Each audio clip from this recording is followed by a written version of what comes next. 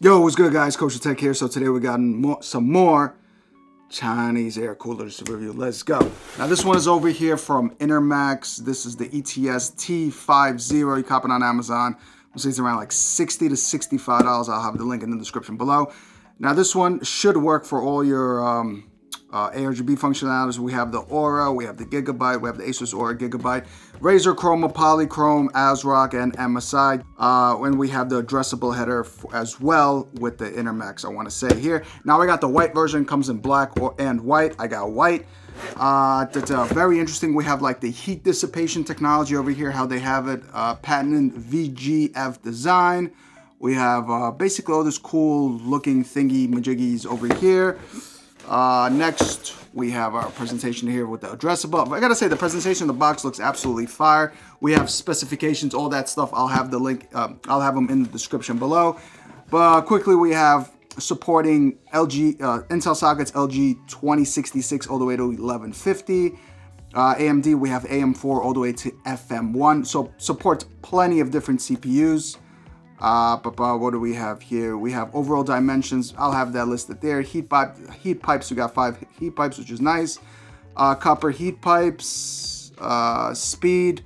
We have fans from five 500 RPM to 1600 RPM.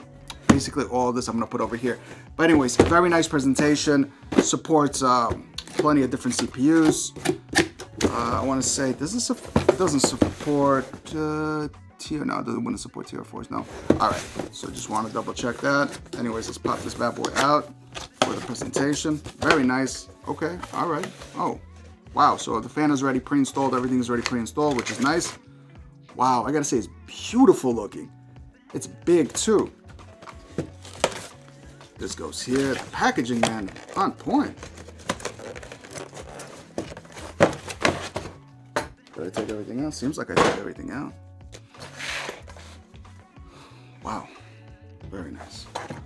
All right, so this is the accessory box itself. Ooh, I'm feeling already. God damn, this is massive. We got Magnum thermal paste. Cast know, Coach is a big fan. This is what I'm talking about. Every company repping like that. Very nice. Look, it's already self-packaged and we have the little stick here to smudge it and organize it and whatnot. But this is what I'm talking about. Look at the size of this thermal paste, man. You know, most coolers, in most coolers, we get them little ass, like one time or two time use maybe. This bad boy over here is many time use, all right? This is what I'm talking about. Last company who gave us this, I want to say, who was it? Who was it? You guys will remember. I, I forgot. I, I, it wasn't PC Cooler. I think it was, yeah, it was ID Cooling. I want to say ID Cooling gave us the same exact one. It was massive. I am feeling that. Very nice. We have different brackets over here. Okay, so everything is, so this is nice. It's broken down here, AMD. So you guys are not, you know, if you're new to this, you guys are not going to get confused. So this is for the AMD bracket. I want to say this is a backplate for something. We're going to look into this. Dif different screws, different, basically different screws, all that fun stuff here. Uh, with the user manual, of course, I'm to look through the user manual. Everything's to be broken down. We're to talk about the installation process. I'll show you guys basically how to install everything to make everyone's life easier.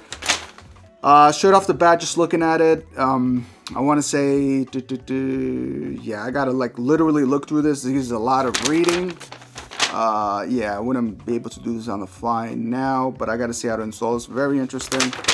So, yeah, I'm to come back into this when I'm show you guys how to install everything. But wow. Yo, the cooler, man, the wow. Just wow. Well, that's all I could say, guys. It's flipping beautiful, man. The white looks great, and just like the design, it just is beefy. We have one, two, three, four, five. So five heat pipes, as they mentioned. Wow, very nice. We could add on a fan here as well. Very, let me take all these wires out. My goodness, this thing is beautiful. Wow. Okay, so we have our and everything is braided. Okay, is nice. Uh, the white braiding, um, it's a plus or minus because you got to you guys got to understand motherboards. Majority of motherboards are black or darker colors, so this might stand out. Uh, correct me in the comments, you know, if, if I'm wrong or whatnot. Uh, preferably if it was black, it would make a little more. But again, to each their own. This is completely subjective to me. But anyways, it's white, and we have the white addressable header as well. This is the for the fan itself. Uh, this is four pins, so of course PWM. You're gonna wanna peel this off when you're gonna install it with the thermal paste. But wow, very nice.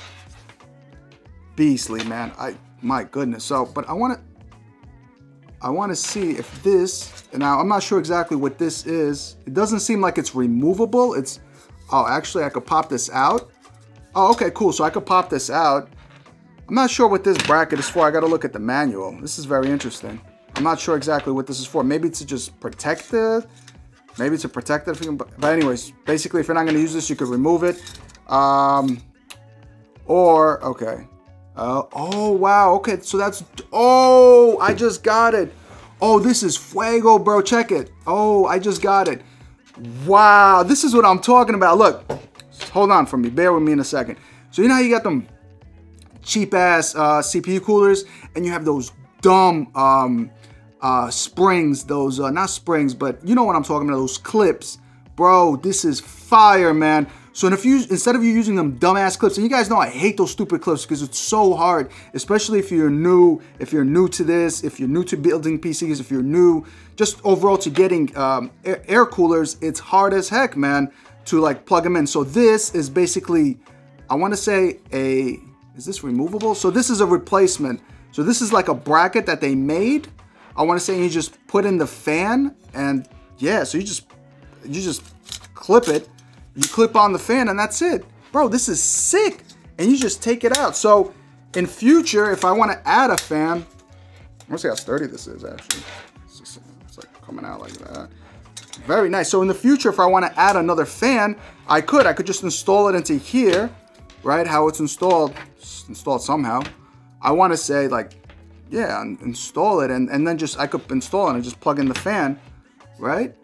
It's what it seems, or maybe I'm bugging. Let me know in the comments. I believe this is removable, but if this is if this is how it is, this is so fuego, man. Because I don't gotta worry about. Yeah, this is. I mean, this is how it seems. So I could just put in a fan here, right? And I could just pop it in. Let me see. Right, so I just had a Asiahorse fan laying around. I want to see if I put this like this. Is this working, or I'm I'm just bugging, or I'm getting hyped for no reason? Will it just pop in? I, I don't believe so. No. So I just hype for no reason. My fault, y'all.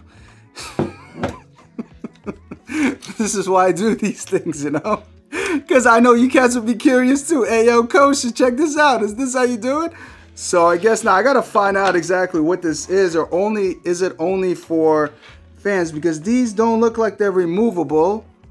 Um, so yeah, I think you got to get like an Enermax fan maybe, and you could do it only do it with the Enermax fan if you want to add a second fan. But I am feeling this like this. It just like pops in, which is I wish it was like this in all fans, and I wish that um, maybe I could I could somehow put this in because I'm not sure. But anyways, let me look at the manual because I'm bugging right now. I'm confused as heck. Let me exactly see because I think it might, you might have to use an Enermax fan to be honest. I think you have to probably buy an add-on fan and, and uh, plug it in. If that's the case, that's pretty whack. But uh, technology-wise, it's pretty uh, pretty dope that they actually give you an option like that just to pop it out because I hate those little stupid uh, metallic things you got to plug in the metal prongs. But very nice. We have the nice white. Looks very dope. But anyways, let me let me um let me install this bad boy. Let's talk about the installation and whatnot. And uh let's see if this bad boy is worth it. Let's go. All right, so guys, so firstly, I gotta say the instructional guide is actually pretty on point. It breaks down everything really easy for you. Now there's two sections. This section is for AMD processors. Since I am using the Ryzen 7 2700X, I'm gonna be using this, and this is for Intel basically.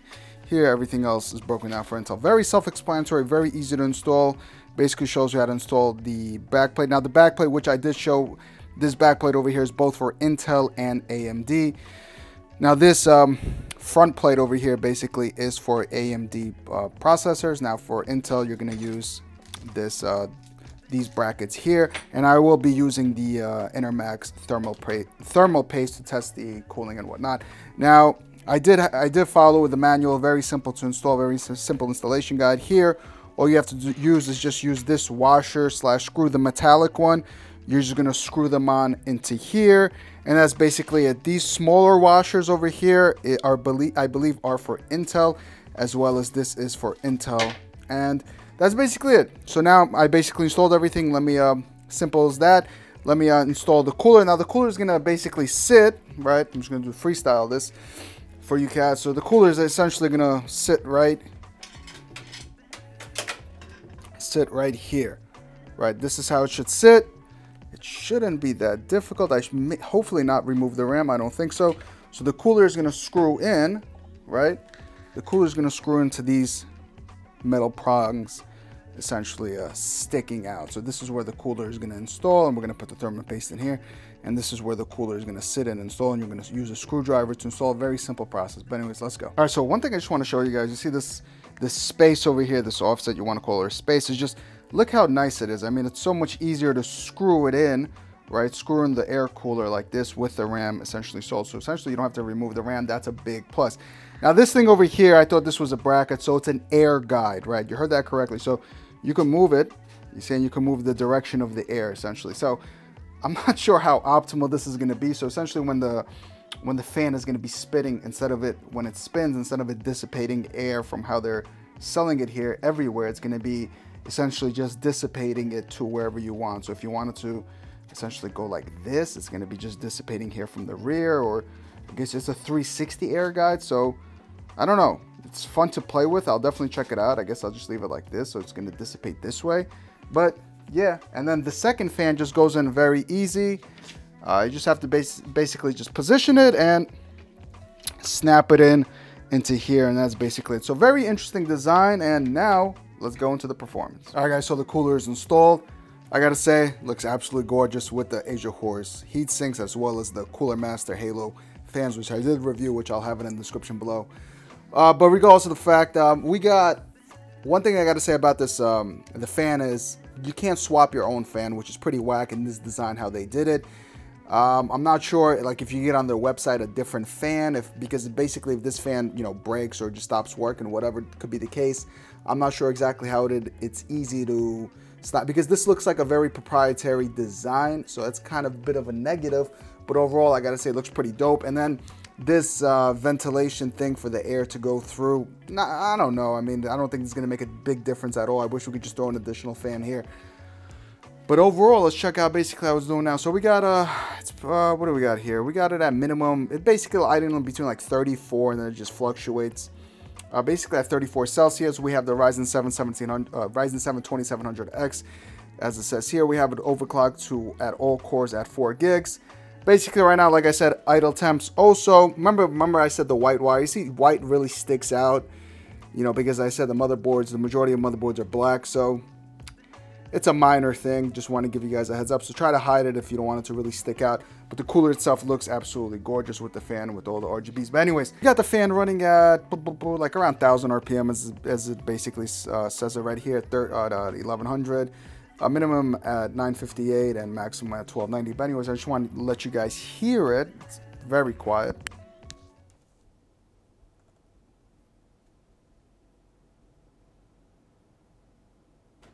I literally have it right next to the glass. Uh, now, let's run AIDA. Let's go. All right, we have AIDA 64 running for, what we got here, an hour and five minutes.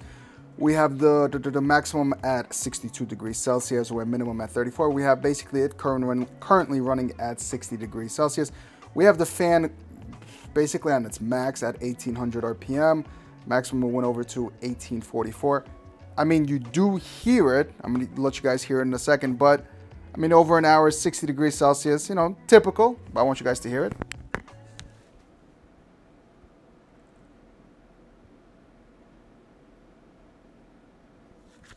You do definitely hear it. I mean, the, the Halo fans are also running at maximum RPM. Now what I want to do is I want to run, um, I want to stress out the GPU, the RX 590, which I have over here. So let's do that. Let's run Valley in the background and let's run AIDA 64 again, just to see the maximum, how hot, how hot the, the graphics card will get, as well as the uh, how hot the cooler is going to get. Let's go. All right, so of course Valley is running in the, uh, in the background.